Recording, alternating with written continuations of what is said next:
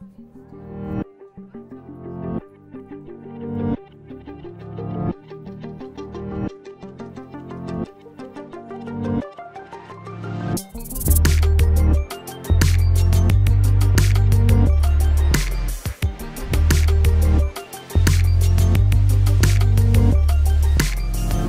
sam student Fakulteta organizacije informatike, treće godine, smjer informacijski poslovni sustavi.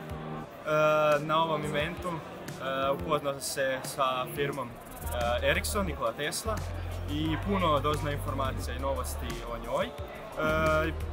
Od početka prije sam znao da su to jako dobra firma s dobrim poslovanjem i dobrom povijesti.